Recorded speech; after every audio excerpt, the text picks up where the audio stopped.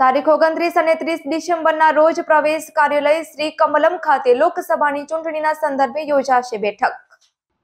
Bharatiya Janata party Gujarat પ્રદેશ media વિભાગે જણાવ્યું કે દેશમાં લોકસભાની ચૂંટણી આવી રહી છે તે સંદર્ભે ભારતીય જનતા પાર્ટી ગુજરાત પ્રદેશના આવનારા કાર્યક્રમ તેમજ પ્રદેશની બેઠક અંગે પ્રદેશ કાર્યાલય કમલમ ખાતે પ્રદેશ મહામંત્રી રજનીભાઈ પટેલે પત્રકારોને સંબોધન કર્યું હતું. આ પ્રેસ કોન્ફરન્સમાં પ્રદેશના મહામંત્રી વિનોદભાઈ ચાવડા પ્રદેશના પ્રવક્તા યમલભાઈ વ્યાસ અને પ્રદેશ મીડિયા વિભાગના કન્વીનર ડોક્ટર યજ્ઞેશભાઈ દવે ખાસ ઉપસ્થિત રહ્યા હતા.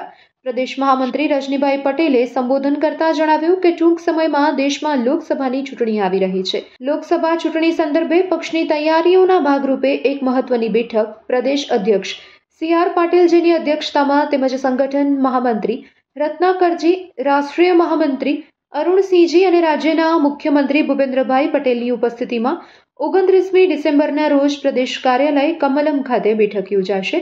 આ બેઠક સવારે સાડા નવ કલાકે યોજાશે. બેઠકમાં કાર્યકર્તાઓને લોકસભાની ચૂંટણી અંગે મહત્વનું માર્ગદર્શન તેમજ કેન્દ્ર સરકાર અને રાજ્ય સરકારે કરેલા કામ જન જન સુધી કેવી રીતે પહોંચાડવા તે સહિતના વિષય પર માર્ગદર્શન આપવામાં આવશે.